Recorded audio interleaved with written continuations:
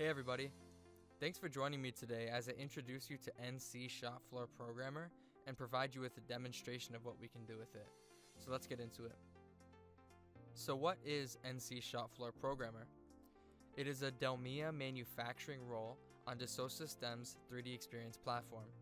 This means it benefits from all of the platform's intelligent data management system, as well as all of its collaboration tools.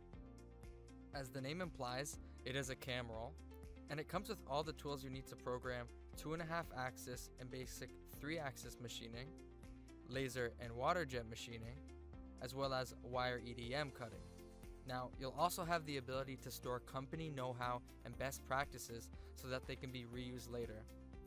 You'll have the ability to validate all of your programs with 3D simulation, so you'll be able to check if there's any gouging or any collisions on your part before posting it to the machine. Now, let's jump right into a demonstration. Today I'm going to be showing you how to program a 2.5 axis part using NC Shop Floor Programmer. Let's get into it. Here I have the 3D Experience platform opened up in my browser. This is my dashboard where I can view and access the Delmia communities to post questions, find answers, and learn what's new. I'll click on my compass to show my assigned roles. From here, I'll select NC Shop Floor Programmer to show the apps that come with this role. I'll click and launch Shop Floor Machining, our app for programming 2.5 axis and 3 axis parts. This will open an app directly on my computer.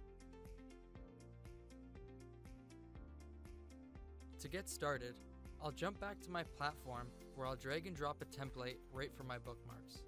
This template contains my machine and tool crib I plan to machine my part with. From here, I can mount in my part. We have a couple options to do so, but for this case, I'm just going to go ahead and search it at the top.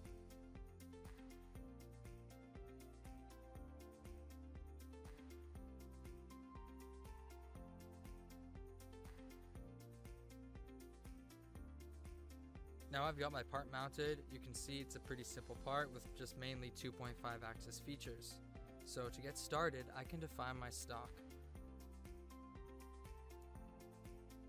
In this, we have a variety of different options we can use to define stock, but in this case, I'm just going to use a rectangular blank that is the size of my part. So all we're going to be doing is machining out those features that we see. So now that we've got our stock set up, we can utilize built-in tools to automatically detect features and holes in our part. We can even automatically collect identical holes into patterns that will reduce our programming time. Identifying features in our part is useful as it will automatically collect all of the geometry we will use for our operations, and it will also keep track of them so we know what features have been machined and which ones haven't. In our manufacturing view, we can confirm all of the features have been recognized.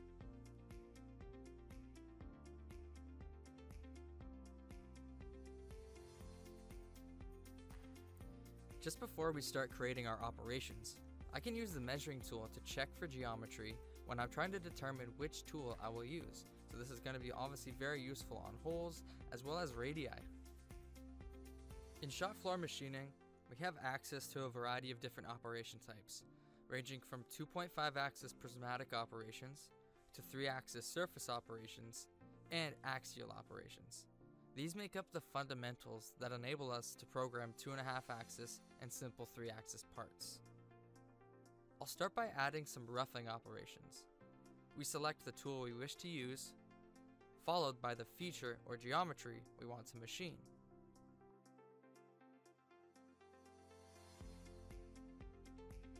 From here, we are presented with operation parameters that we can modify if needed.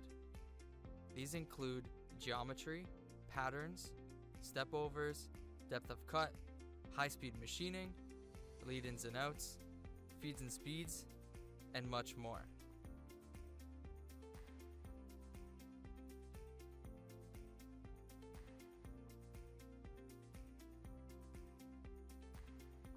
We see the computed roughing path for the bottom pocket. Now I've completed all of my roughing operations with my large end mill. Before going down to the smaller end mill for finishing operations, I'm going to drill out the holes. I would normally use spot drilling here before drilling, but for simplicity, I'm just going to use drilling. I can add a drilling operation using the hole pattern so that the machining will be applied to all identical holes. We can select different drilling methods if we wish to as well. And just like roughing, we have a variety of different operation parameters we can modify if we need to.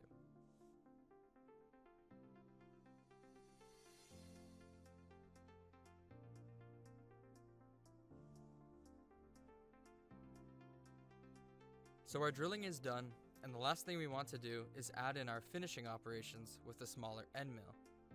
We will use a contour operation, and just like the operations before, we select our tool and a feature or geometry we want to machine. Because all of the features were recognized automatically, we don't need to spend time manually defining the geometry of everything we machine. And again, we have access to all the operation parameters we need to modify the operation.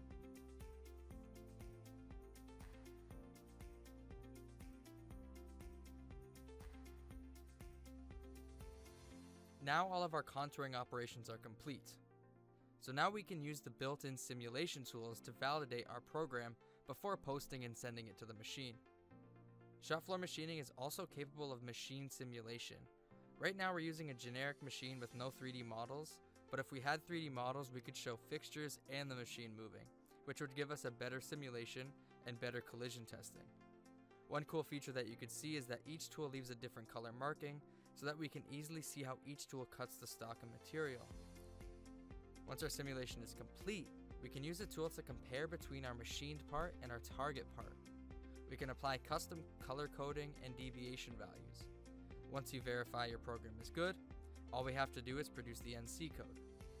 This can be done very easily, and once the NC code is made, you can review it in the editor of your choice. Here I have it opened up in Notepad. So there you have it. This was an overview of NC Shop Floor Programmer and using it to program a 2.5 axis part. We learned that NC Shopfloor Programmer is a role in the 3D Experience platform where it benefits from intelligent data management and connectivity to collaboration tools.